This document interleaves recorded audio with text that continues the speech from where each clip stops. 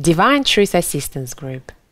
Group assistance session putting principles of divine truth into action. This recording is from the Developing My Will to Love group and is part of the Education in Love series. In the session 2 review, conclusion, and homework presentation, Jesus reviews and concludes the Facing My Fear of Love and Change session and gives some homework to the participants for the following day.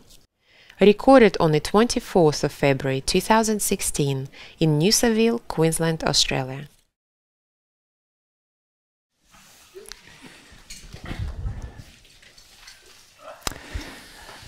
So what I've done is I've put my stamp on the music because I like classical guitar. uh, all right. So, so now what we're going to do is just a bit of a revision of our last uh, couple of days and give some homework. So our last two days' theme is my resistance to love and change. We've examined four primary areas where we have resistance to love and change. Where are those four areas again?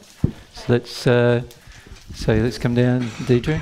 By the way, I'd like to compliment you guys the way you've organised all the mics and everything each time, and each of you have been involved. That's really, really wonderful. Thank you for that. Uh, fire away, Deidre. Hi. Um, I, hopefully, I can get them in order, uh, but I don't think I can. Truth. Yep. So, whose truth? A God's truth. Definitely not mine, right? Oh, not mine. right. So, God's truth, yeah. God's truth.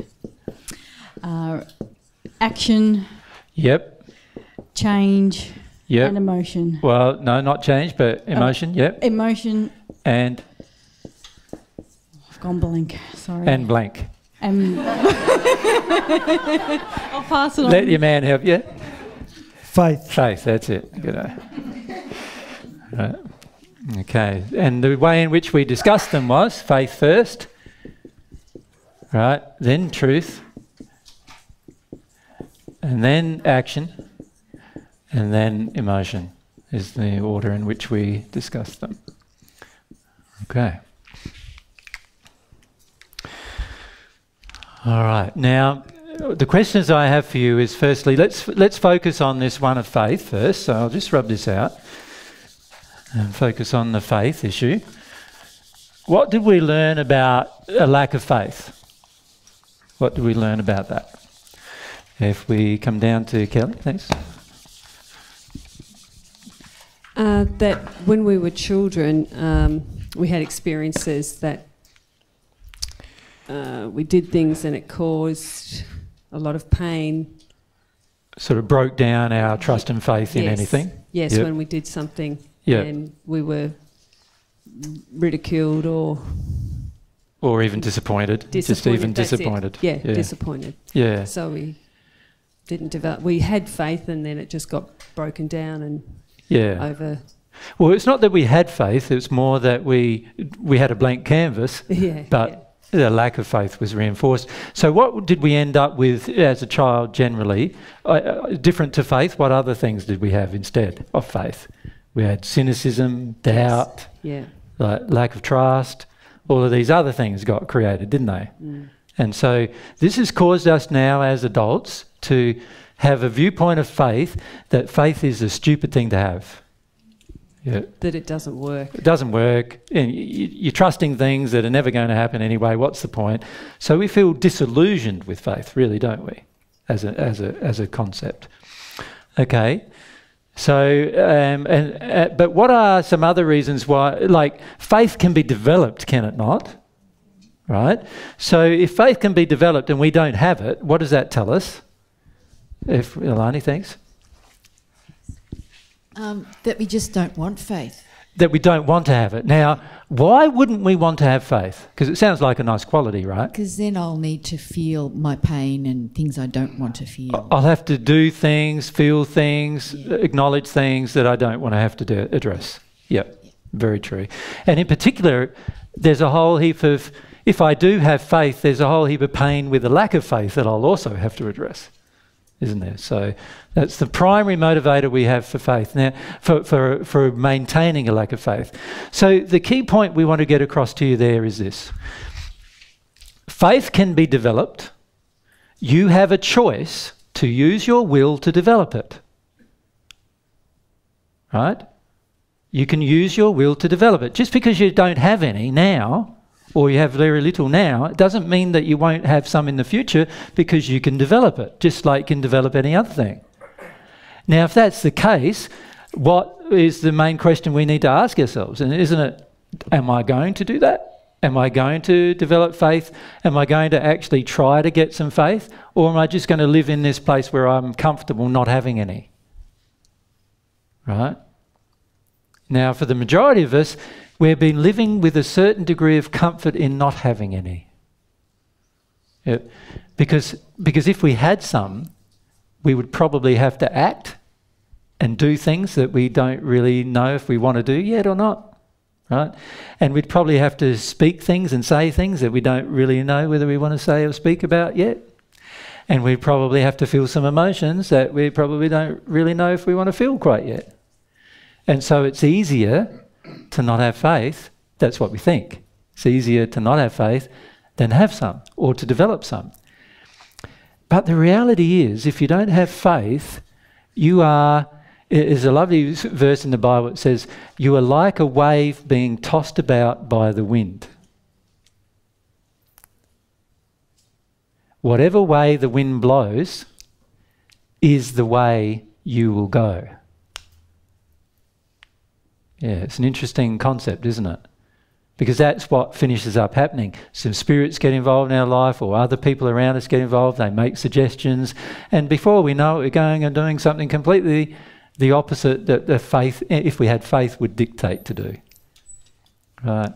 And that's because we're just getting tossed around here and there based upon the external forces. Now, I don't know about you, but if the world is in a certain condition with not understanding love, I don't want to be tossed about by it, by its forces, just doing what it dictates. Now, if you want to be, then, then I suggest to you, well, that's okay. God says to you, that's okay, but you're not going to be very happy doing it. Yep. Getting tossed about like a wave just because you do not want to have a definite uh, goal. Remember, faith is about this microscopic, telescopic facility, as, as Afra says, looking at the future and seeing it as if it's already present. If you have that, can you see that you would have some pretty straight goals, wouldn't you? Like nothing would shake you from obtaining those particular results and a bit of emotion here and a bit of trauma there and a bit of truth here or a bit of lies there even from other people. And and and a bit of you know action that has to be taken that's challenging. None of these things would shake you from that overall goal. And that's why faith is such an important facility and faculty to develop. Renee thanks. Is faith linked to imagination uh, no, because imagination, with imagination, you can imagine things that are not true. Faith is linked to truth in the sense that faith is only applicable when it is truthful. You follow? So, so, for example, there's a lot of Christians who have faith that there's going to be this end war where God or Jesus will come to earth and just slaughter the wicked and replace them with the good, and they have complete what they call faith in that. Well, that's imagination. It's never going to happen. It's no good having faith in something that's never going to happen because sooner or later your faith will be disappointed. True faith is based on the real truth, right? So, for example, things you can have faith in are things like God's goodness, the way God created you, God's truth, God's laws. These are all things that are well established positions of truth that you can have some faith in. You follow? It's no good having an imagination because uh, uh, uh, using your imagination, because quite frequently you imagine things that are not true. And if you imagine something that's not true and then you put your faith in it, only for, for later to be disappointed, that's not going to work out very well for your faith, is it? All right? So, so faith and truth go hand in hand. Remember, they go hand in hand because one, like faith cannot be built without truth. And uh, remember, um, remember how I talked about how faith gets destroyed, and Kelly alluded to that in her answer earlier. She said, she said how when we're children, you know, we get disappointed. And remember, I talked to you about, you know, da- daddy saying to the child, Look, I'm, when I come home, I'm going to play with you, right? Now, at that point, that's not true yet, is it? It hasn't been done, so it's not true yet. It's a promise of truth, right? When that promise is fulfilled by the Father, then it becomes truth, does it not? And, and then the child can have some faith that the next time daddy promises something, that it's highly likely going to occur just like the last time. You follow me? So, so can you see that faith is uh, the foundation for faith is truth? And now, if the father tells a lie and he says, I'm going to play with you, and he doesn't, then what's happened? The child has put some trust in the fact that he was going to, then he was proven that, that no, daddy wasn't speaking the truth, right? What happens then? The child does have no faith about the next time daddy promises something. You see? So there's a direct correlation between the truth and faith. So don't think that faith is imagination, right? yeah. Thanks, uh, Lena in the same line, is uh, faith in any way related to having expectation? Um, yes, it is. Uh, it is related to expectations because the things that are truthful can we can have an expectation of occurring again. Now, this is a given example of that. You have complete faith in God's law of gravity. Right? You walk out the door and you're not going to fly off into the universe. So you have complete faith that when you walk out the door, that you're going to be fine, you're going to survive. Right? You don't even think about it because you have faith in the law of gravity. Now, when you walk on a plane, you have a faith in the law of aerodynamics you know that it, it, with a certain design of a wing, you've got a, uh, you've got the lift that occurs, and as a result of the lift, you can safely go into the sky and overcome the law of gravity. You know that, and and you have faith in that law too, because most of you have jumped in a plane at some point. In fact, many of you jumped in a plane to get here. So so you had faith in that. So so yes. Faith is very much about your expectation, but expectations in harmony with love and truth not expectations or demands of other people, but rather expectations that something will certainly happen because the law itself tells you that it will happen. Right? So, all of God's laws we can have faith in because all of them are consistently governing the universe. And this is one point that I wanted to make to you right at the beginning. Remember, I said to you, even the things when we get sick and we die, well, those particular things we should have faith in too. Sickness shows us that we're breaking law. Right? So we can even have faith when we get sick that, oh, I must be breaking a law. Right? So, so this is a beautiful thing, the consistency. Every time there is what appears to be like pain and suffering of some kind, it means that a law had to have been broken at some point a law of love had to be broken.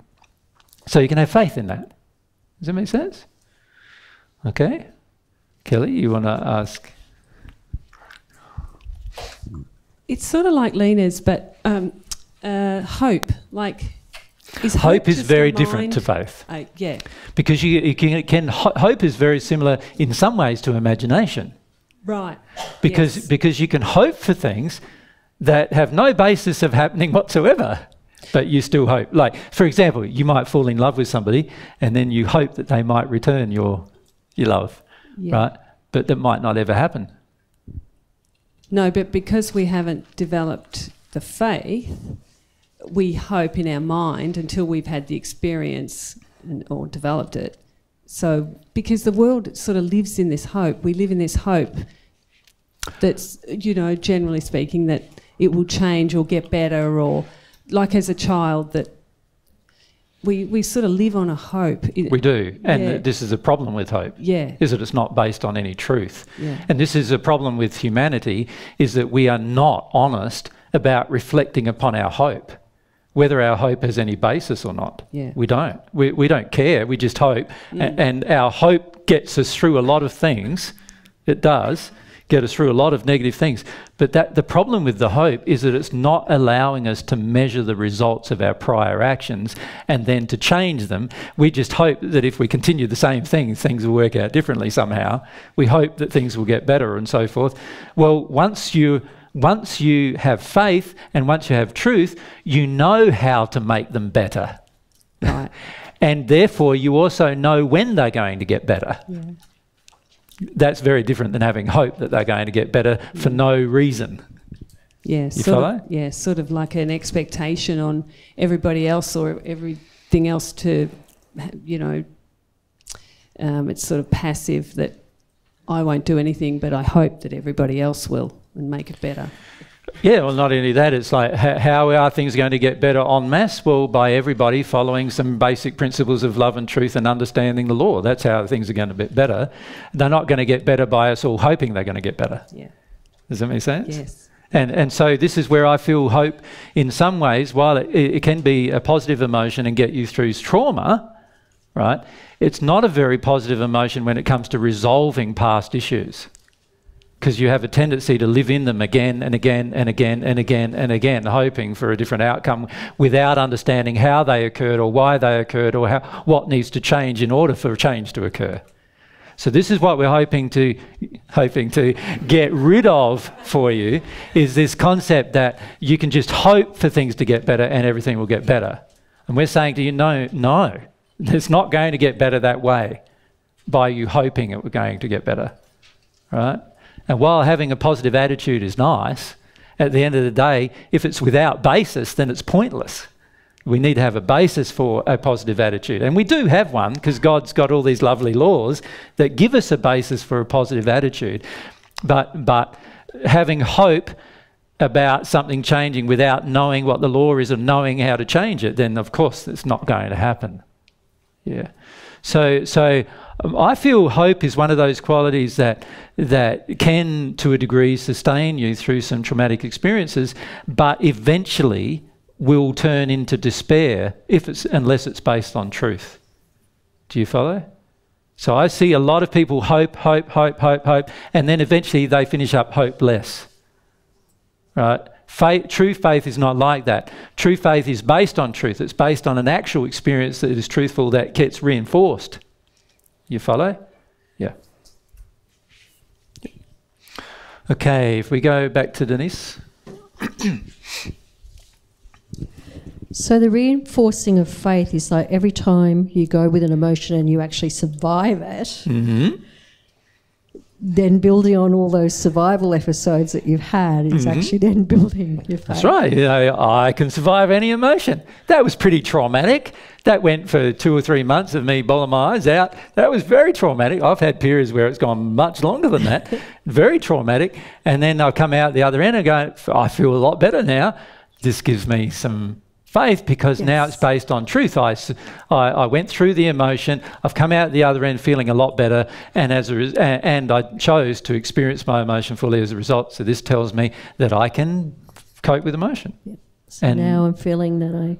yeah, so now I have more closer to it. courage, Yep. more faith as a result. Mm. So faith, faith, faith is very much established through the avenue of truth, and it certainly isn't just hope.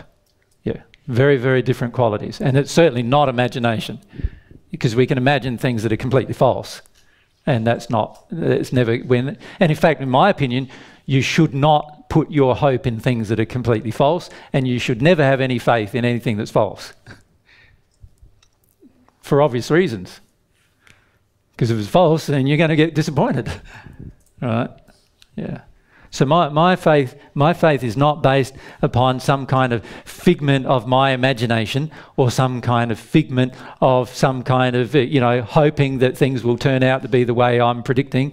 No, my faith is based on my personal actual experience which over 2,000 years has been tested and tried and proven to actually work my way towards God, work my way towards happiness, work my way to my girl, and so forth. Right? Now, you have yet to have that experience, so you're not going to have as much faith until you go through these particular experiences. But, but your faith can grow. You can, you can grow your faith. You're responsible for growing your faith, actually. And that's the thing we wanted to get across to you. Stop living in a state of a lack of faith, saying, I don't know what to do about it. There are things you can do about it. Yep.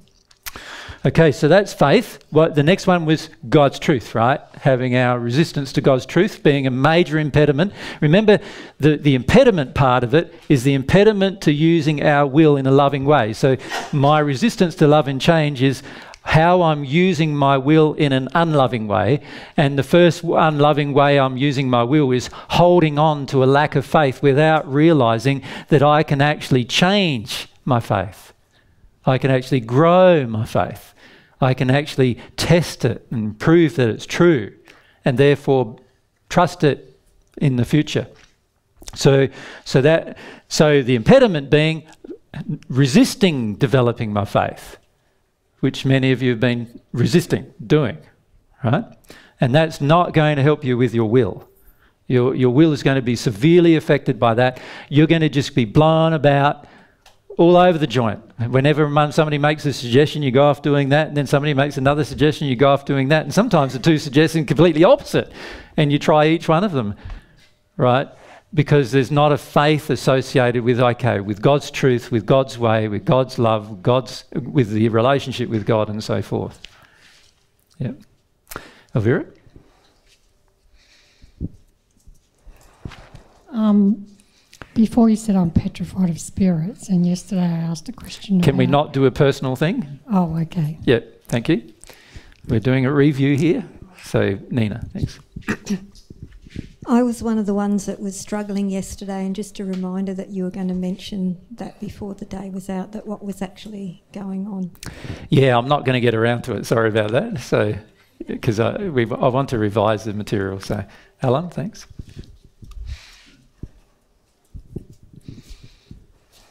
Is if I was doing a firework, fire walk, you Yep. know those fireworks, the Yep. hot, hot coals. Yep. Am I and to get the belief or faith that I could have to get through that, is Mhm. that willpower or is that me engaging my will? M- My feelings are why are you doing a firewalk? Well, that's probably why I didn't do it. It was Fair enough. but I helped set it up at a at a healing centre, and I watched some people go through not getting burnt and some getting really burnt, and I couldn't judge at the time which ones were going to get burnt. Um, I just thought I'll see what happens before I have a go at it.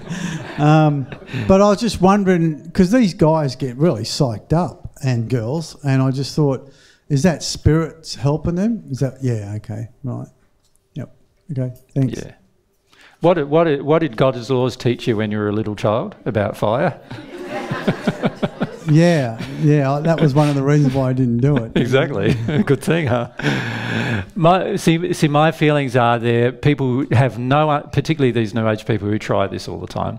They're doing it to prove their spirituality for a start. Yeah. True spirituality is based on love, not on whether you can walk through fire. Agreed? Yeah, So, so, so they have no idea of true spirituality for a start. There's a bit of ego. I felt there was a bit of ego from the presenters. Totally. Yeah, It's driven by ego, proof, proving something to others and proving something, you know. And and none of those things are based on love, are they? no, No. So so so God's not involved in the process.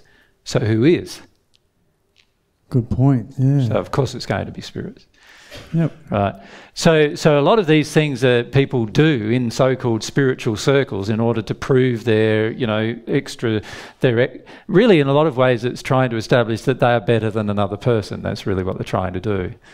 And You and could feel that when you're sitting down close course. watching it. Yeah. Of course you do. Yeah.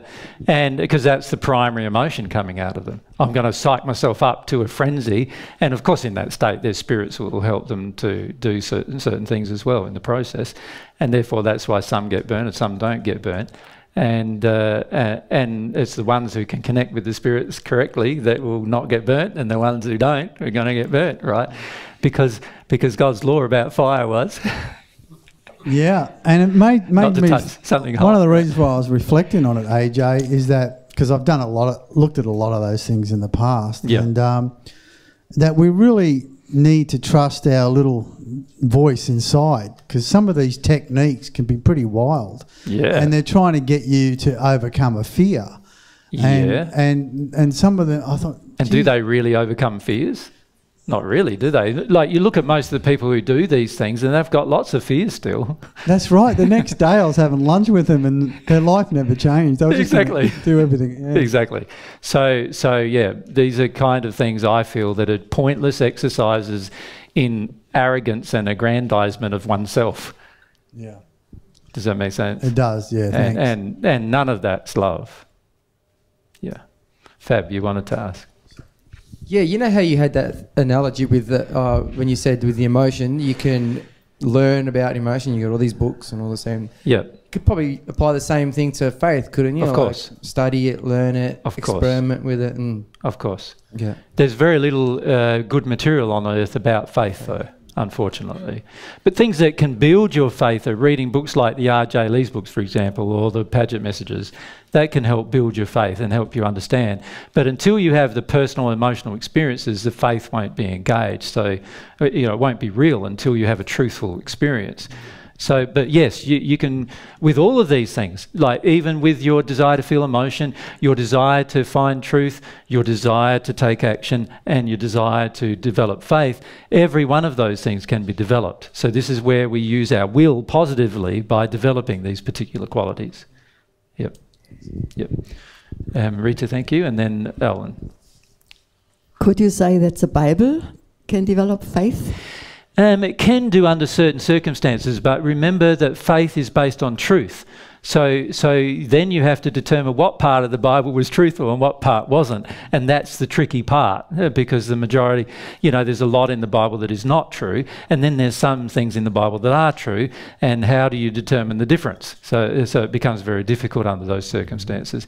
But there are some very inspirational things in the Bible talking about faith for example, and talking about truth, for example, which are quotations from either my first century life or from the life of uh, people like Paul, the Apostle Paul, and others who lived after myself.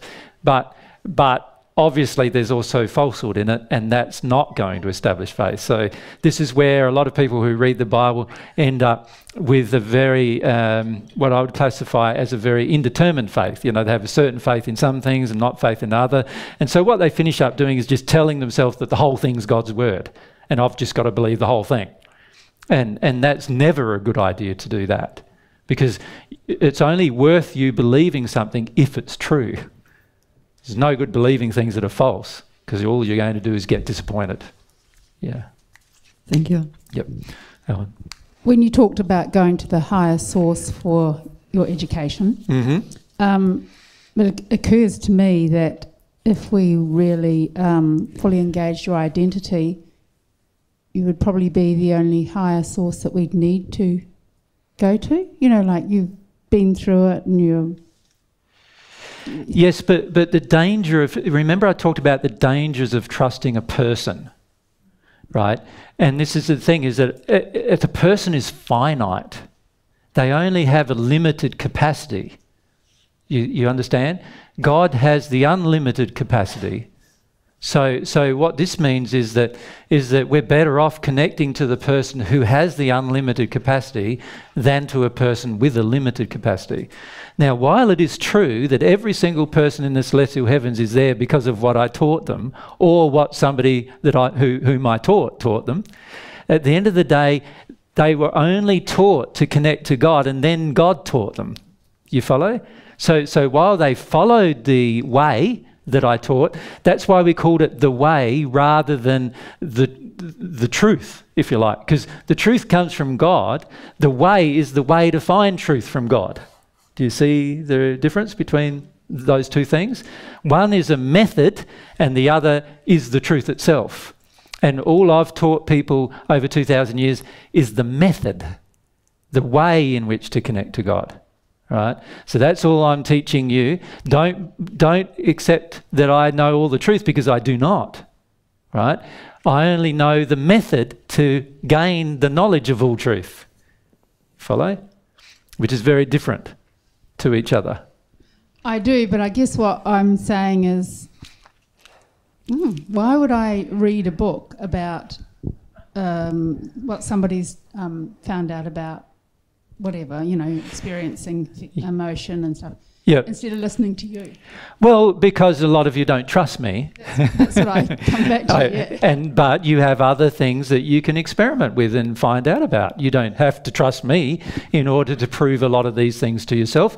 You, you can actually work your way through finding information from other sources. And in the end, if you did that sincerely, I'm saying to you, you'd end up with the same result.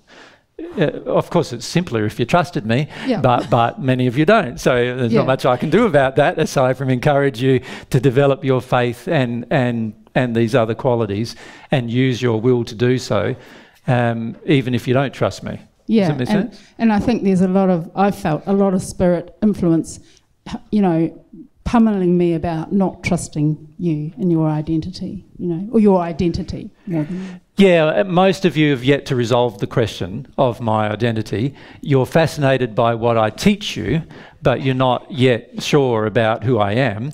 And, uh, and of course, I haven't established through my personal actions any proof yet to your satisfaction about who I am, aside from the fact that uh, I obviously know a lot of things that it seems that nobody else knows. And uh, aside from that, as being proof, there is no other proof at this particular point.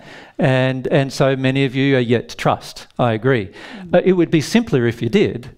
But but many of you don't, and so what I'm suggesting to you is like these are still things that you need to develop to if you want a relationship with God, and and everything I'm presenting makes logical sense, does it not? So so therefore you can see a relationship between logic and the truth and spirituality and faith and emotion and and action. You see these relationships, and this helps establish within you some more trust about well maybe I should do it rather than just talk about it or listen to it or or hear it for years and years without taking action or whatever. Yeah. But it certainly would be simpler for the majority of people who are listening if they trusted me more. I agree. But at the end of the day, um, you know, that, that's a personal decision that each of you will need to make.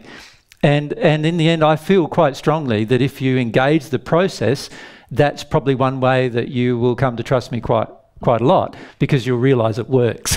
Does that make sense? Yeah. And you'll also feel God's truth a lot of times coming to you that wasn't coming to you before.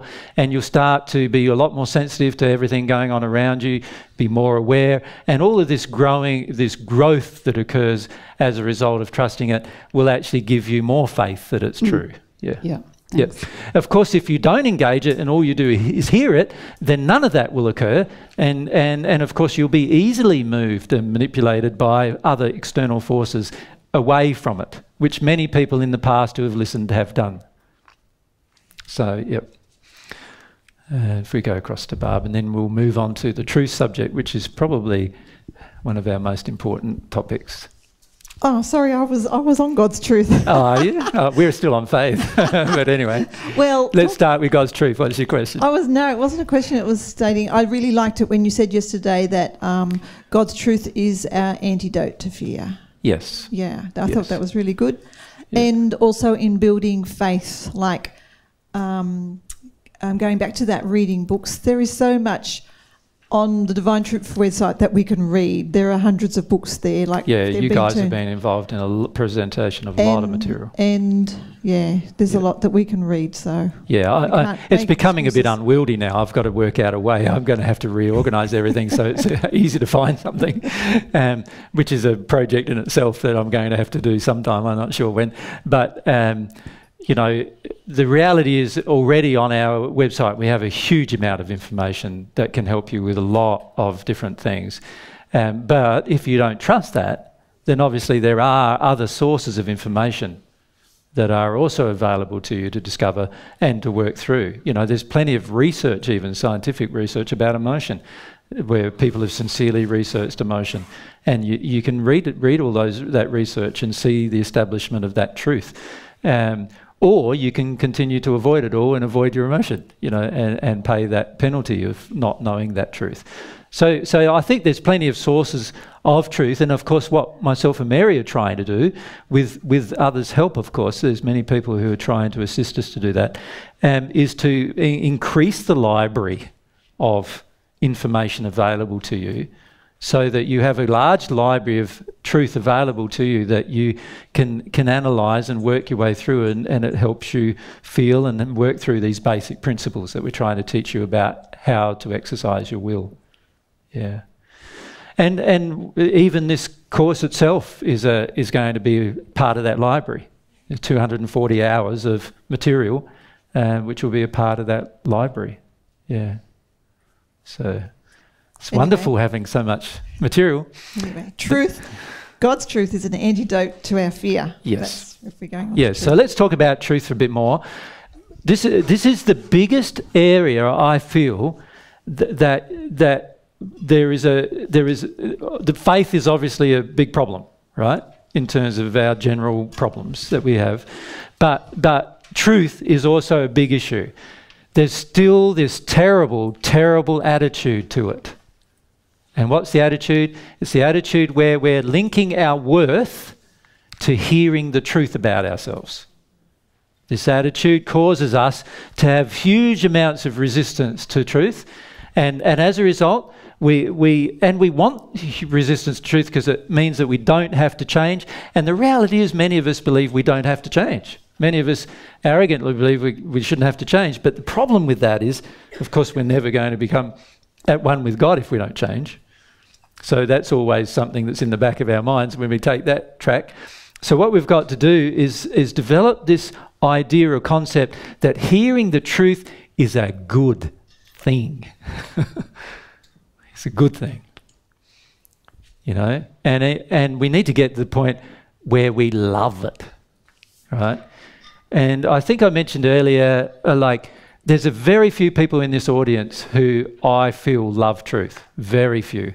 And, but, but I have mentioned that Eloisa is one of them. So uh, please don't get arrogant about that now, Eloisa. But, but, but her attitude to truth, honestly, it's just, it's just a, a, a joy to speak with her about truth of, of any kind, personal or otherwise. Right? It's just a joy to, to discuss it. With most of us, what we do is we're rigid with it. We just straight into resistance of it. And this is a big problem to our progress. Right? We need to enjoy it. Enjoy the truth. Imagine for a moment that what's being said to you about your life actually applies to somebody else. and and, and you, you may actually start to feel what, you know, what you'd have less emotions about it then probably than if you it was about you. But but what I would encourage you to do is go even further and go, cast your mind back to when you heard the universal truth and how much joy you received from knowing these things that you didn't know before or that started to join all of these dots together that you weren't aware of before. And, and what happened then? Allow yourself to feel this joy that is inside of you about that, and then go, okay, that's the same kind of joy I'm aiming for with regard to my personal truth. Exactly the same kind of joy. I want, I want to feel that much joy about personal truth as I do about God's universal truth. Because remember, God knows that unless you're connected with truth, what's the other problem? Yeah, love, you know, joined at the hip, love is missing. So unless you want truth, uh, God wants to share the truth with you because that's a part of God loving you. You know, we, we grew up with people lying to us, telling us untruths, withholding the truth from us, manipulating the truth with us. God doesn't do all of those things, right? But in growing up with all of those things, what have we ended up with? We ended up with this deep mistrust of anybody who just tells us the straight out truth, right? And that's a problem because God's going to do that. So that basically means we're not going to trust God. Yeah, so it is a big problem. And remember that all of God's laws are truth. So this the resistance to truth is also also will play out in the resistance to God's laws. Because all of God's laws are the truth of the universe. They are scientifically true. And I, I'm talking about all of the physical laws as well as all the spirit, you know, metaphysical laws and all of the soul based laws. They are all truth. The whole lot of them are truth. You can, you can guarantee your existence on them. Uh, that's what I love about it. Like, of the la- in the last 2,000 years, I've spent most of my time examining law for that reason. Uh, because it's all a part of God's truth. Yeah. It's wonderful. Glenn. I liked the um, where you can on one side type what your truth is and then correspond across with the actual truth of God's truth. Yep. Because I found that I was always looking at my truth and trying to deal with my truth. When that's going to lead me the wrong path, I need to be looking at what actually God's telling me. Yes. Yeah, what I've found personally is that it's very, very difficult to experience an emotion unless you know God's truth about that particular situation. And most of the time when I'm interacting with you guys, what triggers you emotionally is when I tell you the truth about childhood, for example. Mm. Like, this is the truth about how you were treated, bang, it's tears immediately. Most of you engage immediately once you hear the truth about how you're treated. It's just that you're not telling yourself that truth. That's why you're not engaging immediately, because you're telling yourself what the family story is, right? Which is completely opposite to the truth in many cases. Right, so so you got to remember that uh, all of these things, faith, truth, action, and emotion, are all linked you know, you will process emotion when you face up to the truth about certain things. You will process emotion. But if you refuse to accept the truth about a thing, you won't process an emotion. You won't. And that's the way it works. And I, I love that that's the way it works right? Because it means that when I face the truth and I start to feel, now I can get some validation about truth. Now, it might be just the truth eventually that I finish crying completely out, and then I realize, oh, that wasn't the truth. That was just the truth of my existence, and I've felt that now. And now the truth on that particular matter is completely opposite to what I thought right? But that's the beauty too, is it helps you go through all of those things that are your truth that you need to release by at least acknowledging those truths to yourself. And by those truths, I'm talking about the truths of what happened to you. Because it's what happened to you that created your injuries, isn't it? It's yep. what happened to you. Yeah. Yep. So that's what I'd encourage you to do. Let yourself remember what's happened to you all the way through your life. Let yourself remember because that will help you emotionally. That's the truth of your current life. That's the truth that a lot of times God's trying to tell you about. Like, this is what happened to you. That was really bad. See that it's bad. Let yourself have a cry about it. Let yourself feel about it. Let yourself see that it was wrong. Because we, we're there toeing the world's line, which is no, it's right for your parents to have done that. It's right for your parents to have done this, and it's right for your parents to have done that. And as a result, you don't get to feel any emotion because all of these things that are wrong from God's perspective, from the world's perspective, are right. And, and if you toe along with the world's perspective, you're going to not be able to process the emotion about it. So all of these things are linked, and that's why we've brought up these four particular things for you. So the next thing was, uh, so that was truth, the resistance to God's truth. What was the next thing? It was with action, wasn't it? So what, what did you learn primarily about action? What was the problem? What are the problems we face there with action? If we come down to Karina. Um, we attempt to do things quite desirously when we're little. Yep. And then through our lives, we have experiences where we have a mistake or fall over or whatever, and when we get old. Um, but the can we just stop yeah. there? There, the problem is that we don't feel about those experiences at the time, isn't it? Yes. So we store that emotion yeah, in we, us. Yeah, we stuff them down. Yep. And just live in the fear. Yep. And then the fear just exacerbates and just collects. So it's growing. a mountain. Yeah. And so then we don't take action because we're just believing this mountain of fear, which is false evidence appearing real. Yes. Yep. So all of this past experience that we haven't released now. Now the child falls over when it's learning to walk, and it hurts itself still, doesn't it? But because it released the emotion, it's confident that it can get up and try again without it happening again. Right? It's release the emotion. It doesn't allow the stored emotion to affect its next action. You see? because it knows that the outcome is good. The outcome is it has more mobility. You know, before it's just right, crawling around on its hands and knees, and, and now it can stand up and therefore have more mobility. You know, you try to run next to somebody who's crawling, it's a lot faster to run than it is to crawl. So, so a child works out actually, I've got more mobility if I'm standing than if I'm just crawling. And so it, it wants to stand, it wants to move around, it wants to reach more things, it wants to get more things. It sees the positive outcome, which is causing it to have faith. Right? Then it takes the action of standing, it walks a bit, falls over, right? So it makes a mistake, right?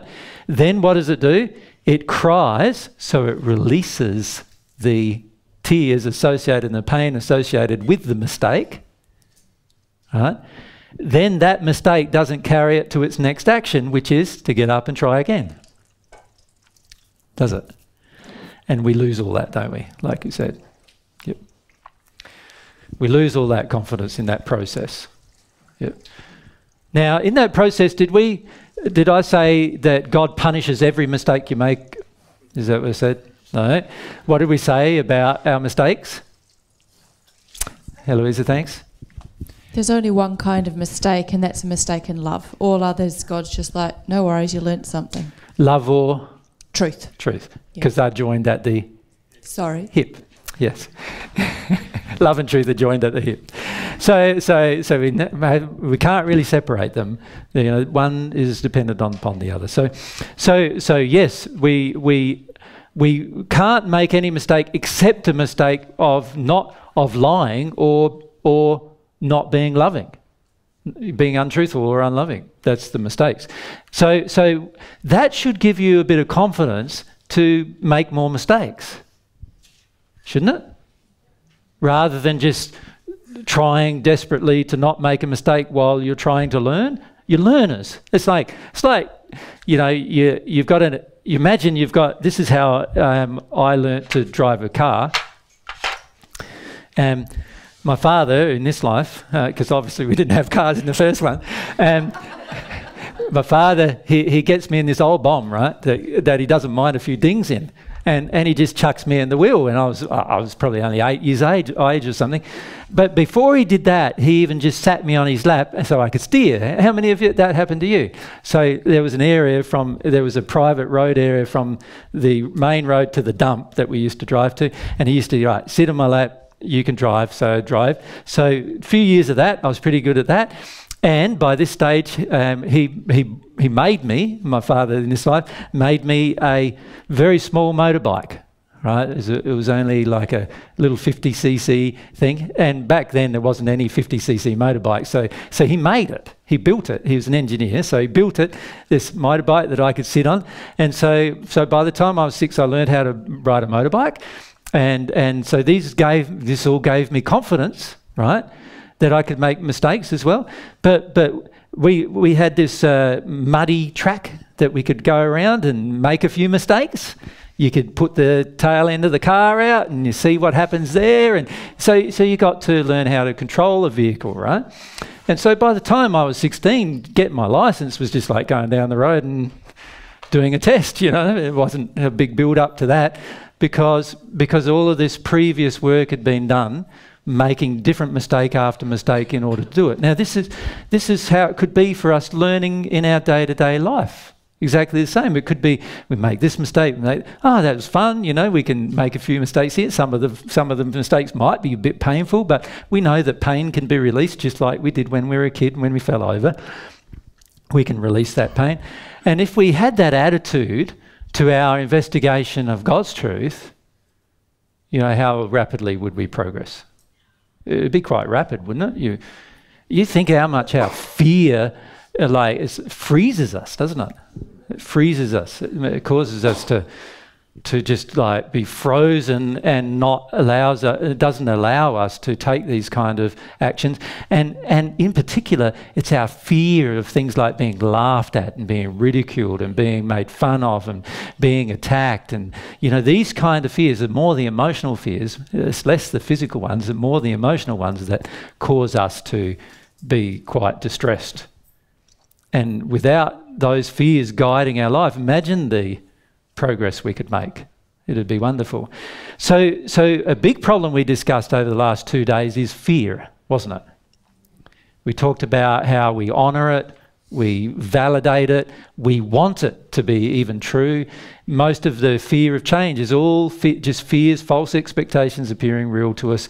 And even though they might have happened in the past, it doesn't mean they're going to happen again just like a child who might have fell over in the past when he, when he tried to walk, it doesn't mean that he's going to fall over this time, does it?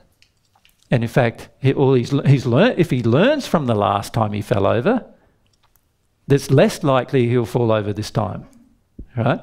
So this is how I see mistakes. I see mistakes as no, it's just part of my learning process. And God lets me make mistakes. I'm allowed to. Now, if Jesus is allowed to make mistakes, you're allowed to too, right? Yeah. So anybody can make mistakes. Everybody's allowed to. And it's a wonderful thing, being uh, feeling that freedom of being allowed to make a mistake. So you can choose something and feel the result of it. Maybe there's a bit of pain there, and you go, "Oh, that was a mistake." Some of you have done that the last few years, right? You've done this and done that and made a few mistakes and a bit of pain have come up. Well, just mistakes. You can correct them. A silly person would do the same thing again, probably, without correcting something, right? Without trying something different. But you can even do that if you want. Do the same thing again and see whether you get a different result next time. Of course, that's probably not very logical, but you could even do that. God lets you do that. Isn't it wonderful that God is so allowing in comparison to many other people who punish us the moment we even have a slip of a word? So it's really good. And God measures our intention. If your intention is one that's pure and you want to be motivated towards love and truth, you know, that's, that's what God's interested in your intention. Purify your intention. That's, that's the goal. Okay, and then we came to uh, this aspect of emotion, right? Which, we discussed this morning. And you can see it is a big issue, isn't it? There's a lot of fear of emotion, a lot of difficulties with us processing emotion. We continually judge emotion. We're always resistive to emotion. And, and, yet, and yet, emotion, once it's released, will no longer be felt anymore. It's, a, it's your key to becoming happy, actually. Because while you don't release emotion, all that baggage gets carried around with you. Isn't that terrible? Like, exhausting, have all this emotion carried around with you. It's good to get rid of it. Get rid of it, and you have some freedom in, in your life. Your body feels better too. Everything gets better. Your relationships get better. You don't project the past emotion onto your relationships. You don't project your past emotion onto God, your relationship with God. You're now more open to receiving love and you're more open to giving it. Right. So all of these things will help you. So what we've been focused on here is the use of your will. And remember our first two days were all about okay, we need to examine or analyze how we're using our will. So these two days have been about what are my resistances to using my will in love and truth? Like, what are my resistance to using my will to change? What are they? And we've learnt that there's basically just those four things to remember about how if so, if something's not changing for you in your life, always go back to one of those or more of those four things because it will be one of more of those four things. Does that make sense? So quite simple. You've got to stop going over analytical and everything. Just get back to okay, what truth aren't I accepting? What what is my faith about this issue? What is my fear of action about this issue? And how much do I really want to feel my emotion about this issue? That's all you've got to worry about. Nice and simple. Not easy, because you, there's a lot of things in amongst all that, but simple to, to grasp, simple to understand. Yep. Okay, so let's uh, give you now some homework about these issues.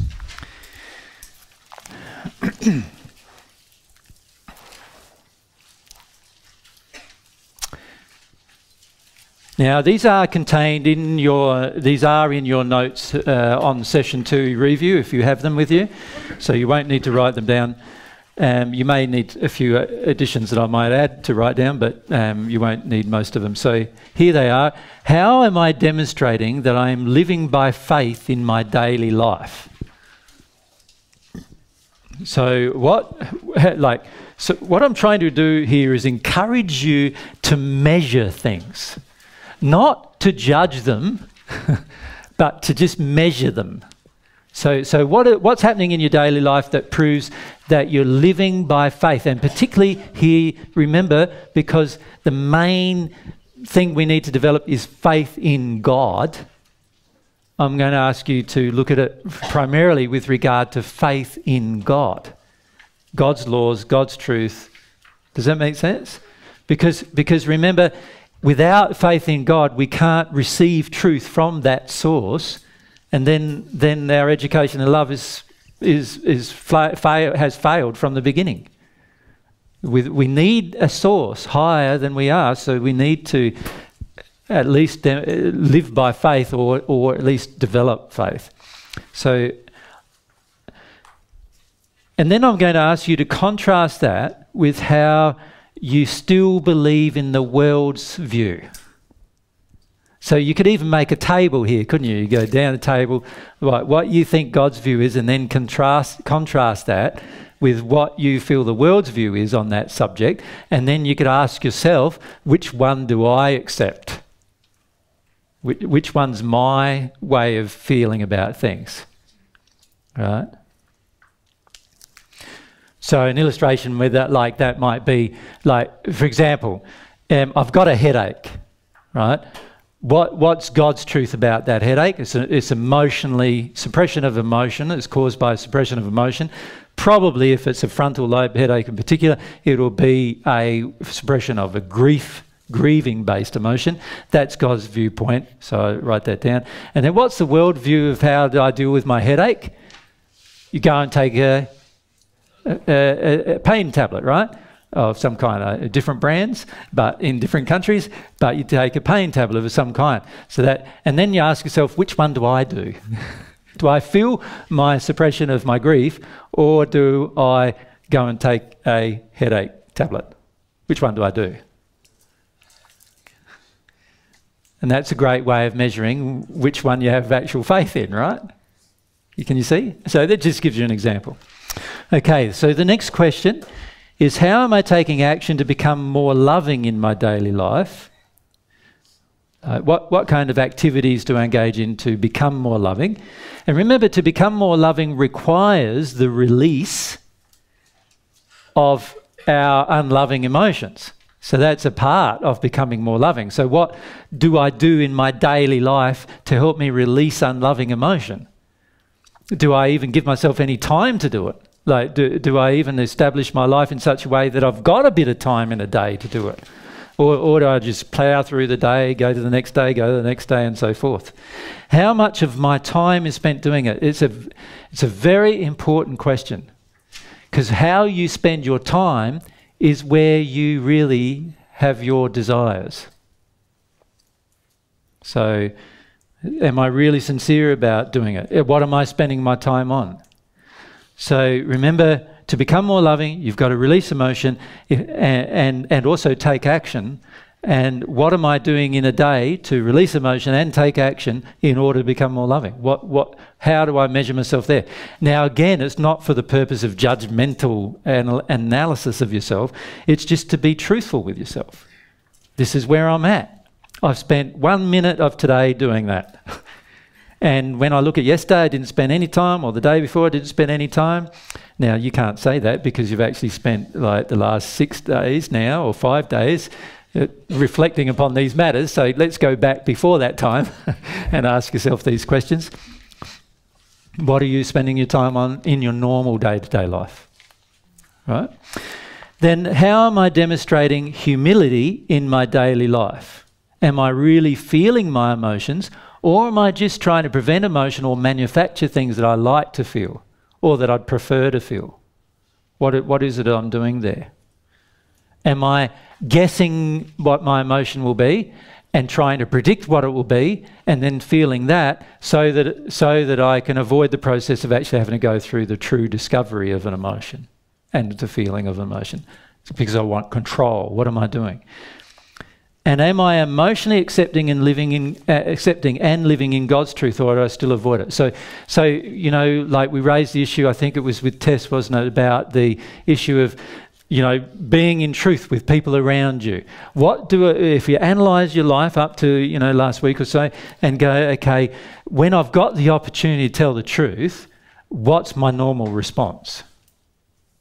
What normally happens? Do I withhold it, or do I tell myself, ah, they're probably not going to accept it, or they probably don't want it, so I won't give it, or do I tell myself, ah, oh, you know, they're going to feel a bit that I'm a bit weird if I say that, so so I, am not going to say that. What, what do I do?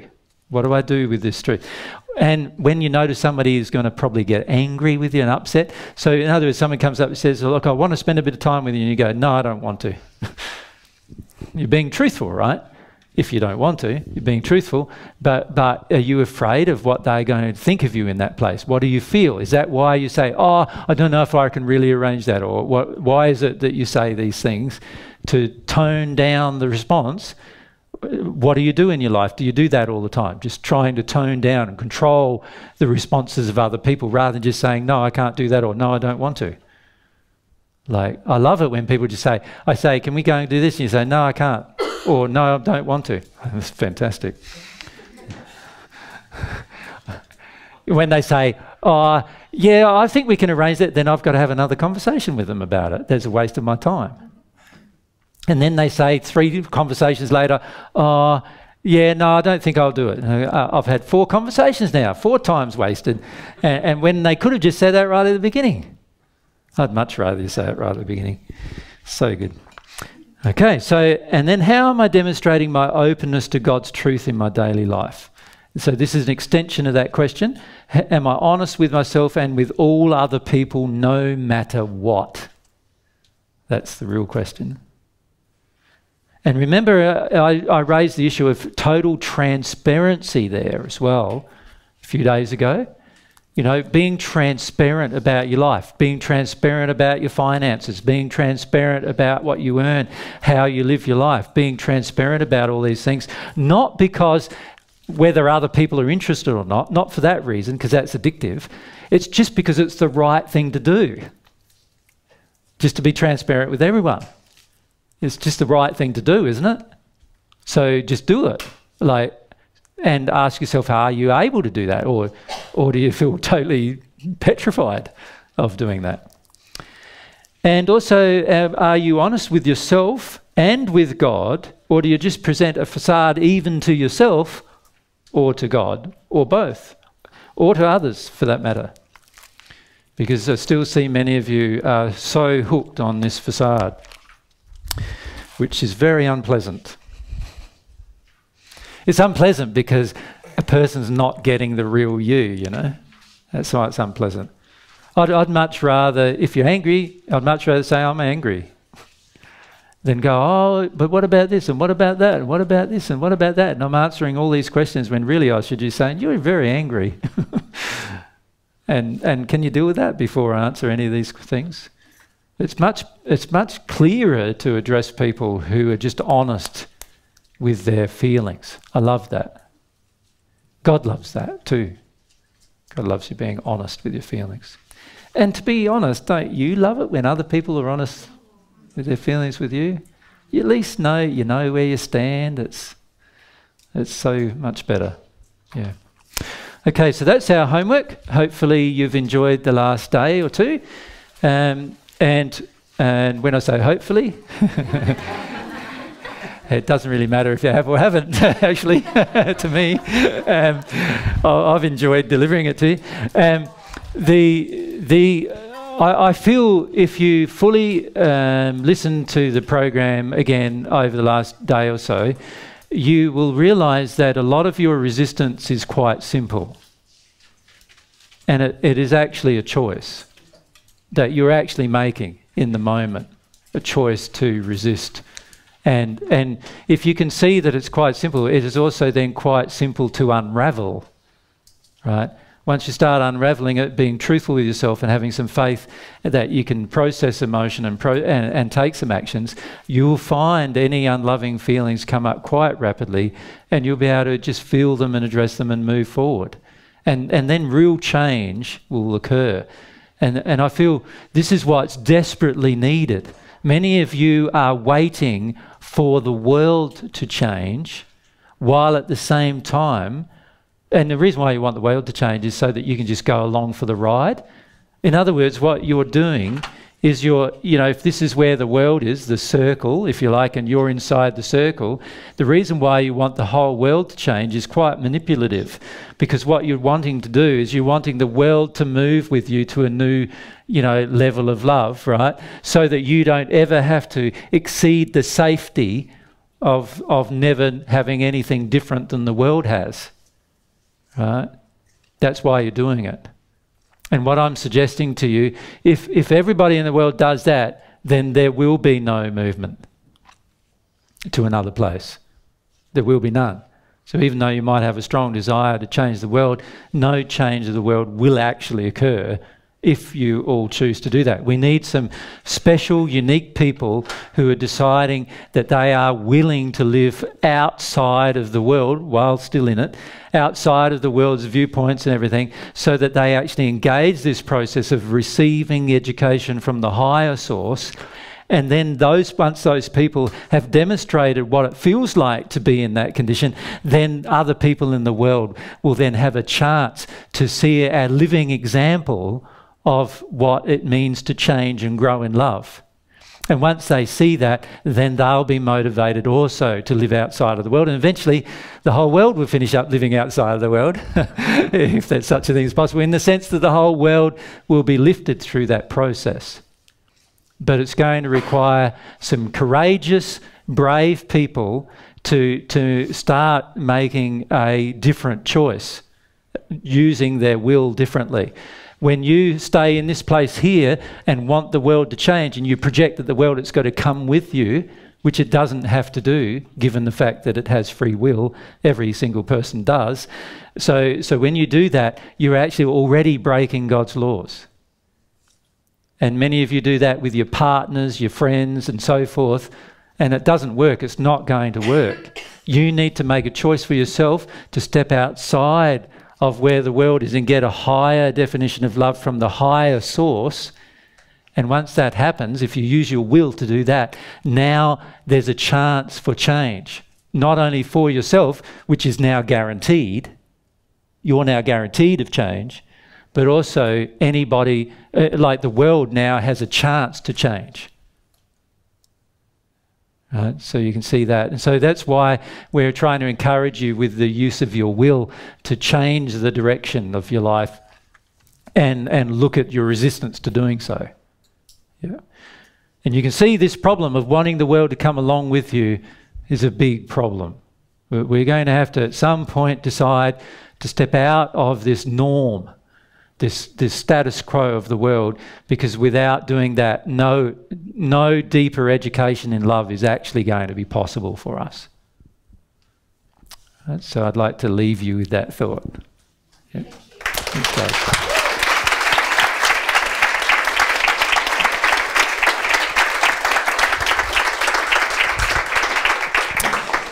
So our next uh, presentation will be 10:30 a.m. Friday morning. You have a day off, yay! And uh, and my suggestion is if you can just have a look at some of that homework, that would be fantastic. But also enjoy yourself uh, in the process. Have uh, I, I, understand some of you have found vegan cafes and places to eat and all those kind of things. So that's uh, that's good.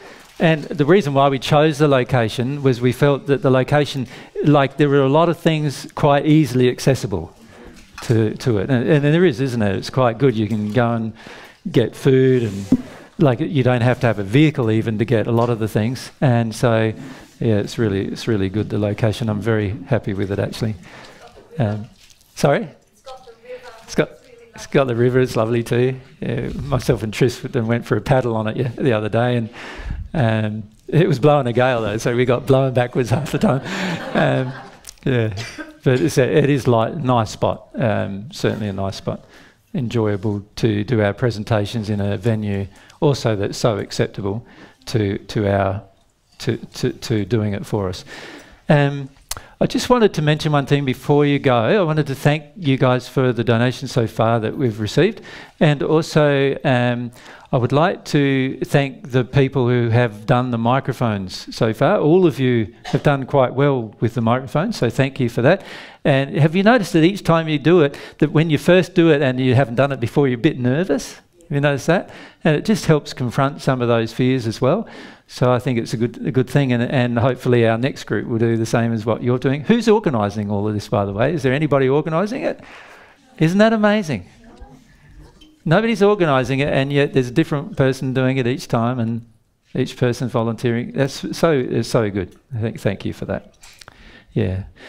And thank you for the time the last few days and also for paying for the venue. Um, I would also like to mention at, at, this point too that there's been a number of people who've donated quite significant funds for the venue who aren't able to come.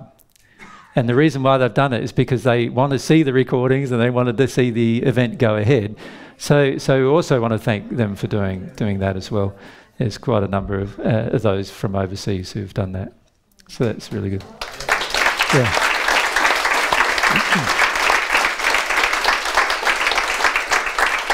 So they, they weren't motivated by their personal benefit, um, aside from the fact that they would personally benefit by seeing the, the uh, video. Um, that's one thing we find is that uh, is that quite frequently people are generally motivated to donate uh, only when they receive a personal benefit, and that is something that as you grow in love, you, it, it sort of changes. You know, and you're motivated by by higher uh, sort of ideals, not so much your personal benefit, but the benefit of the world and other things like that. So, yeah, but we'd like to thank you for being enabling the events to go ahead. And we, like I've said, we've paid for we've paid for um, the first two, the, this uh, group of events and the next group of events, and we've almost completely paid for the third group of events. We're pretty close by a thousand dollars or two. So, so it means that all of the events this year are all going ahead, uh, which is which is really good. Yeah. And um, and what we'll probably do is around um, July or so, we'll announce. Um, we'll start planning for the next year's events, and then obviously depends on donations we receive in that year as to whether those events will go. And at this stage, we're planning to hold them at a very similar time. So there'll be like fe- February, March, um, May, June, and I think it's November, um, because they are the times when this venue is the least busy. And, and obviously, the least busy means the least amount of noise around us and so forth. It's better for the recording, but it's also better for them because they eventually fill a venue that normally would be quite empty at this time.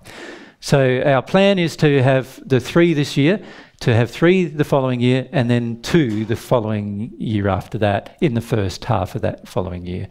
And hopefully, in amongst all that, with some of you, that means that you might get to two or three of them because you, you'll have a bit of time to save up and time to get off of work and things like that. So um, that's that's why we've planned it the way we have. But I know many of you are keen to hear some of the uh, other ones that are happening next year, and it's like, oh, it's a long way away. Um, so you know that, but that's the best uh, we feel for it. Also, it's the best for us. It takes us um, two to four weeks to edit the material, and then we've got to get the material to the USA uploaded and, and distributed before the next group, and then the next group has to see the material before they can come to the group. So, so you can see that you know there's quite a lot of work that has to be done in between. What that's going to mean is it's highly unlikely that after this group there will be more material except for the group itself until our next group.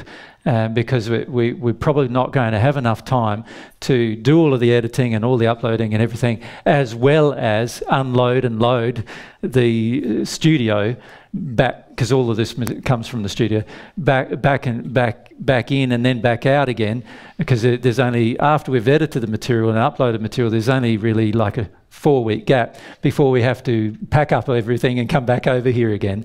So so during that period of time it's highly unlikely that we'll be having many uh, things that we put up on the internet except for potentially a few audio recordings and things like that but there will be 64 videos go up with all this material. So not only will you have this, this group to observe, but you'll also you, have the chance to observe the following group and see how that goes. Because as you know, it's quite often quite different. So so you'll have the chance to do those particular things. So I just wanted to let you know a little bit about what was happening, so that you know you know what our plans are. And then what we're hoping to do is from um, the the second group, the end of the second group, which is about mid-June somewhere, there'll be another month where we're where we're flat chat trying to get all of the information up again, and then after that very busy period, we hope to have a little few months where we can set up our studio again and get started with some other things. So that's our, our goal until the November group. Yeah. In between that time, of course, myself and Mary have to prepare each group, which takes us around about a month of uh, every single day work. So, um, so we have preparation for each group that will occur in amongst all of that as well. So we'll be quite busy the next few years as a result of the groups. And I, am not sure how much else we'll be, we'll be doing aside from the groups. We're also hoping to have a trip uh, overseas in the middle of this year because we want to look at some places uh, to do with uh, um, sort of learning centres around the world and that's probably going to be the purpose of our trip. But we don't know whether we'll be able to manage that in amongst uh, the other things that we're doing at this stage. So, but that's that's our underlying goal to get also some learning centre things up and running, and uh, and there's also things afoot with getting learning centre stuff sorted out in Wilkesdale as well, in, in around where we live, that learning centre. So um, we're hoping that we'll be able to get a lot of these things sorted over the next year. So it's a pretty busy year for us, and uh, and I'm sure if you want to join in and get educated in some of those fa- factors, I'm sure we can slot you in somewhere.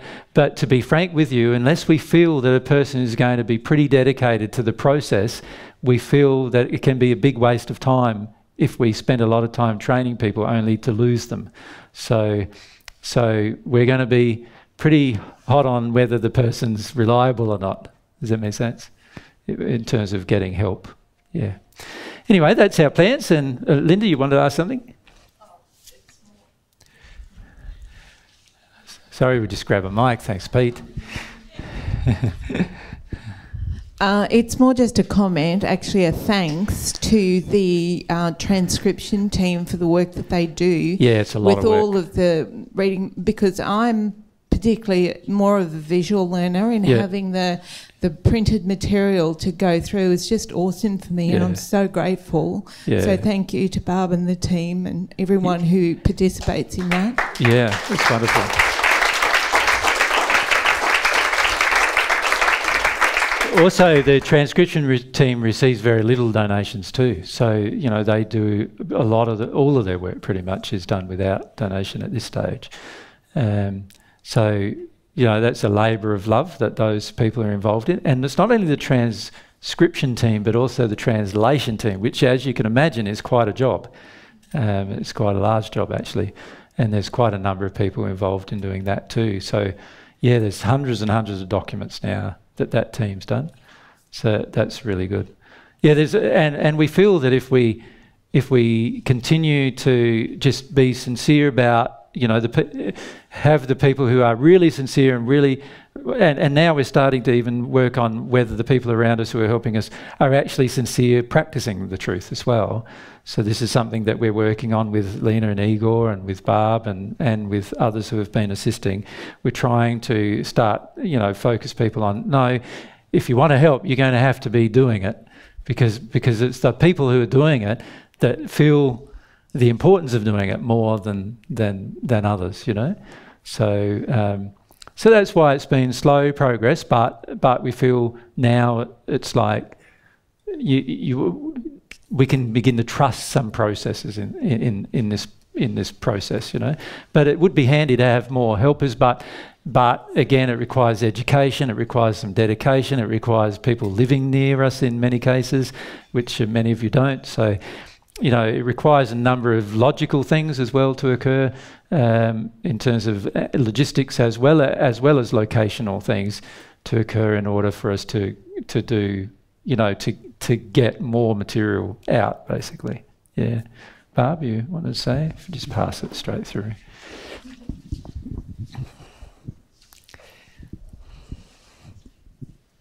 Could I just give an update Mm-hmm. um, where we're at? Um, the last assistance group has all been transcribed, group one and group two. Yeah. Um, and it's all at, um, except bar four of them, at um, the edit four stage. Yeah. Um, and By the way, there's seven. Well, there's really eight stages Yeah. of edit. Yes. Um, so it Yeah. shows you how much work goes into it. and um, and book groups halfway through almost. Yeah. Um, the and a lot and all your mediumship or, and, or your current ones have all been transcribed. They're at the edit four stage as All well. the FAQs. All FAQs are done, yeah. So there's a lot still that hasn't come through on the internet, um, but they're already up to the edit four stage. So they'll be coming through soon. They'll be coming through, and Mm. and um, the edit one stage, which is the actual transcribers, that is a huge commitment, and we've got some in the audience who have been very dedicated to Doing that, yeah. to doing it, and it's just wonderful. And I just love receiving their work. Yeah. it comes with love. It really does. Yeah. and it's lovely. Yeah. No, it's real good. Well, you know, it's, it's it, enables us to make this huge library, which is our goal in the end, to make this huge library about God's truth, and and you know we we've got myself and Mary got so many things we still want, want to talk about and do, and and in some ways the assistance groups are sort of slowing some other parts of things down because we obviously spend a fair bit of time in preparation here and and also in delivery.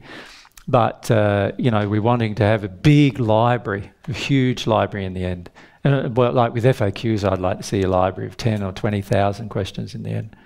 And so there's still a lot of work to do, and um, and we're slowly plugging our way through what's important and what's not. We felt these groups were important because because we could see that many of you were still sort of foundering with these. Um, with these basic concepts, and we wanted to help help you get beyond that, you know, and, and into a place where you, you could be you could feel positive about your growth and change. And so that's why we felt they were import, more important than the other things we're doing at this stage. But uh, in the long run, we feel that things like the FAQ library and things like that are going to be of uh, uh, really big importance to people in the world. You know, when there's large amounts of people having all of these different questions and they can just turn on a video for 10 minutes or 15 minutes and get the answer to every one of the questions that they've been able to think about. You imagine, you imagine that, having that library of truth available to everyone in the world you know that's going to help a lot of people and at this stage uh, it's uh not only english speaking people because we if we translate a lot of that into other you know other common languages then it means that a lot of people around the world get to hear things that they've not been able to hear up to this point of time. Yeah. So that's our plans and we'll see how we go um, bringing them to fruition um, and seeing what the outcome will be but the, the other goal myself and Mary have is to really focus on our own growth and development. So, so we are taking a lot of personal time to focus our attention on, on outstanding emotional issues that we need to resolve. And that's why, you know, there's a limit to how much time we can do things each, each month and each year. From now on, that'll be the case. We, we're going to really focus on those particular things. So uh, that's why Mary's not here with us now because she's really spending her time and attention on focusing on things she's some things she's been avoiding up until now. Yeah. So um, that's where we're headed. Lots of changes for us. Hopefully, some changes for yourselves too. If we go, Kathleen, thanks. Sorry, guys. Just right next to you. Yeah. I was just wondering what you're looking for in these learning centers or what you're hoping to have them be. Um, really, firstly, Kathleen, we're looking for the right people because without the right people, they're just not going to happen. And, you know, the problem is that you can think you're the right person, but when you actually get put in the situation, you've got to be genuinely practicing the principles of God's truth and genuinely trying to progress on that path, as Rob and Ange have learned in the process that they've just been through. Um, you know, unless you're genuinely doing that, so you, you're easily influenced away from the underlying goal, and that, that then, of course, slows everything down externally. So, but, but our underlying goal is to have locations in the world where myself and Mary can travel to, and they become the centre that we visit rather than you know somewhere else that has its own auditorium that we can just you know set up and start speaking without having to go through this long-winded process overseas which is quite expensive too besides paying for the flights which are actually a very low part of our cost going overseas, we've got heavy costs with accommodation and, and with a hire of a venue. And, and particularly in Europe and USA, you know, this venue in comparison, this same venue in the USA would have cost us $2,000 a day. Now, if you add that up between 70 people, you know, that's, that's you know, quite quite a lot of money, 30 bucks every single day just for the hire of the actual auditorium to speak in.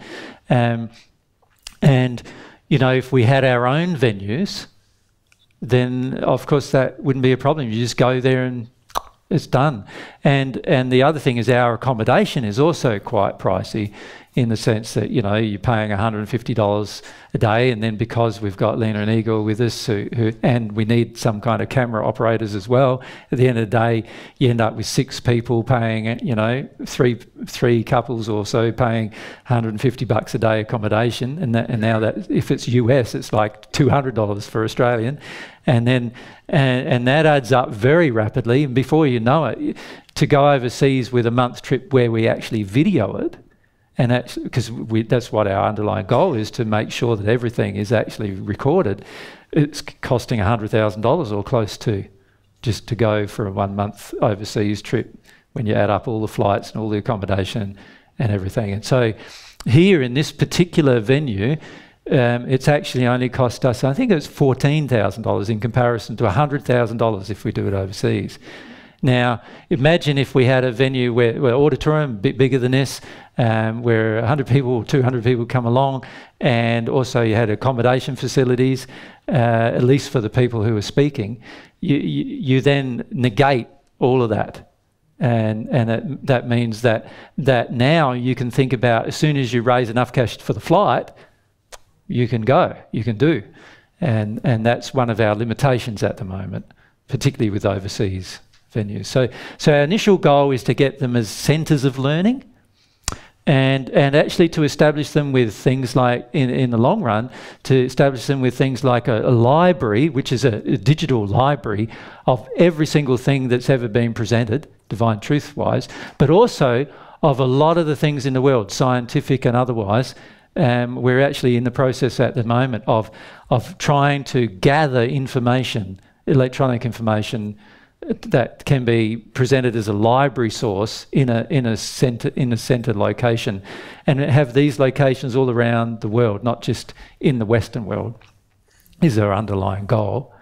And then have places where any one of the people who are teaching these particular truths can travel there, do it for a month, live in relative uh, ease in that location without it being very expensive and uh, and then move on to the next location and move on to the next location and so forth. And then you've got the the creation of new truth, plus a team of people recording it, plus we eventually need another team of people, quite a large team, editing the material and getting it out there and getting getting it out. So, in the end, you know, you could easily conceive of there being you know, hundreds or if all of the 14, all the couples of the 14 come online with that, then there could conceivably be like three or 400 hours of material every month that needs to be edited, uploaded, And you, you just imagine the library. This is like huge, huge library of material about God's truth. And and then there's then there's all these other things that could be start start happening as a result of that as well.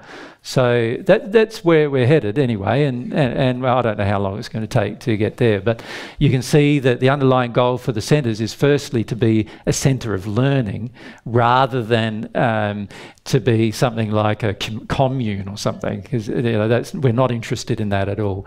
We we want uh, these centres of learning to be specifically created for the for the process and distribution of God's truth on the planet, basically.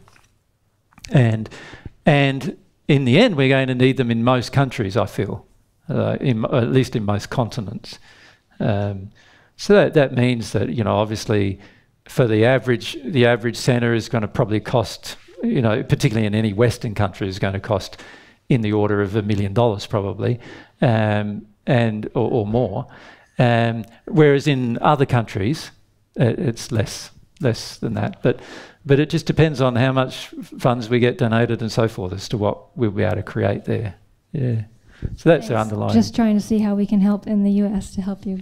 Yeah, there's opportunities in the US there, but um, you know, I feel there needs to be very careful selection of the location in the US for a lot of reasons, and uh, and the same applies to Europe. There needs to be very careful selection in those two continents, um, because those two continents have the most at the, at this stage the most potential of becoming very what what I would classify as as, as very um, flammable in uh, and volatile because of the amount of suppressed emotion.